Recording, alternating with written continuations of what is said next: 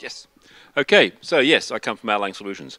Um, we didn't invent cloud computing, at least not the name anyway. The name came afterwards. Yeah, so we've been hearing a lot at this conference and other conferences about these fantastic new ideas. I mean, there's processes and actors and reactive programming and messaging and stuff like this.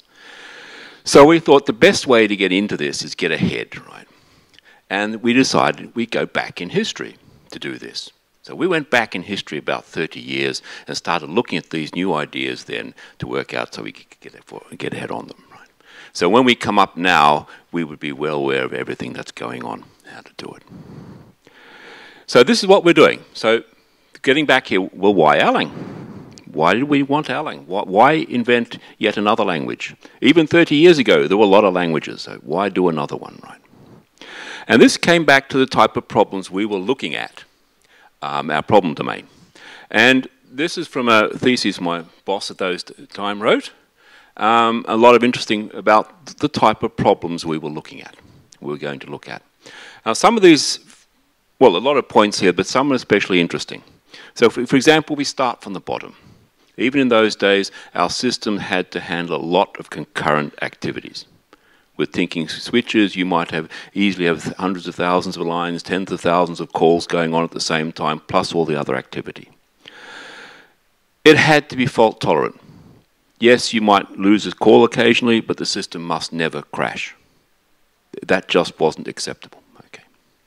Um, it had to be reconfigurable while it was running, even upgrading software while things were running. Again, the system must never go down, not for trivial things like upgrading the code or stuff like that.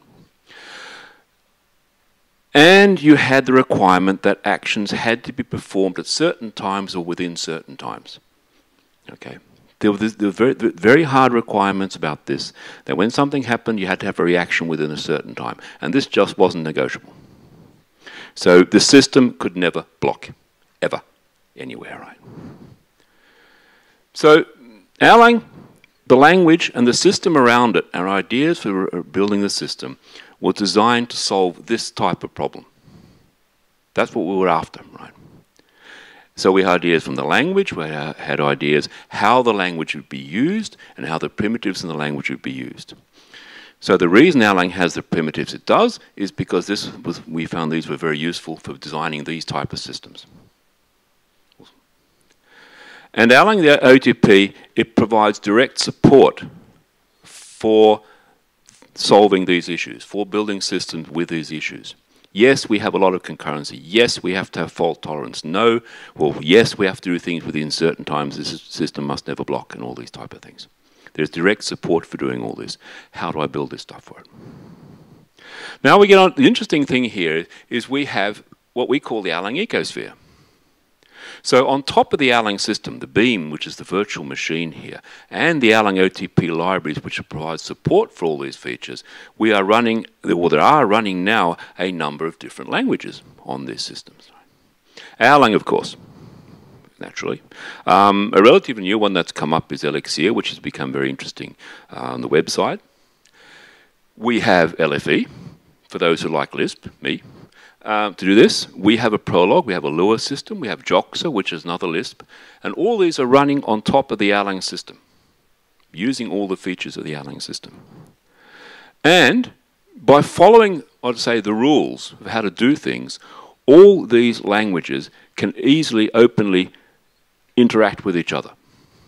There are no limitations. I don't have to pick one language to do my system. I can use any of these languages. I can use multiple versions. I can use multiple languages on the system because the interaction between them is very, well defined and easy to do. Right. We can talk with the outside world. We have another system here, the weirdo thing in grey, and there are interaction mechanisms for, for, the, for the system to integrate. And because the, the prim these primitives are built into the system itself, into the Beam Erlang OTP level, all the languages running on the, on the ecosphere, in the ecosphere, can access them and communicate with the outside world. Just because I'm using one language doesn't mean I have to do it myself because it's already there, right? Now, the interesting with the thing with the JVM, we do actually have an extra mechanism there. Because one of the things you can run on the JVM is Erjang, which is an implementation, a real implementation of Erlang on the JVM. And if you're using that, we can use Erlang's own distribution mechanisms to communicate with them, not just running over the J, over, uh, having the, um, the standard mechanisms for doing that. If you're interested in Erlang on the J, JVM, Erjang's the way to go, right? So why is this interesting? So, so why is Erlang relevant? I mean, we had all these things, properties of the system we were trying to look at, right? We're trying to solve. Now, if you look at those properties, you'll find there's absolutely nothing about telecoms in there. There is no telecom-specific feature there at all. So yes, they do describe telecom systems, but there's nothing telecom-specific in there. And that the same thing reflects on the Erlang and the OTP system on the Beam. There is nothing telecom specific about it. It's, all, it's useful for building systems which have these issues, these problems, but there's nothing telecom specific about it. And what has happened is that these type of problems, people have realized they are actually very general. There are many different type of systems which have these properties, which have these issues.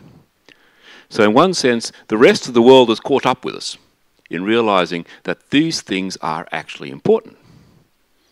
And we were just out, by going back, we're out very early, designing a language, a system, a set of design patterns, rules for building these type of applications, these type of systems, right?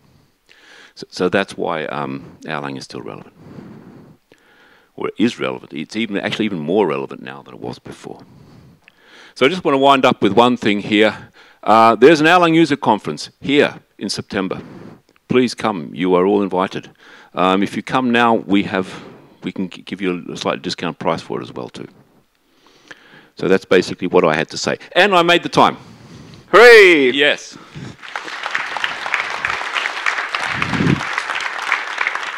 So any questions for Robert? Yes?